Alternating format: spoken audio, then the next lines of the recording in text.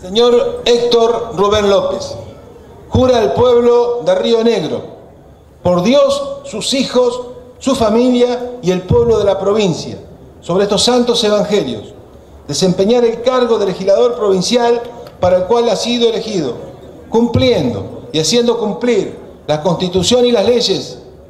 Sí, juro. Si así no lo hiciere, que el pueblo de Río Negro se lo demande.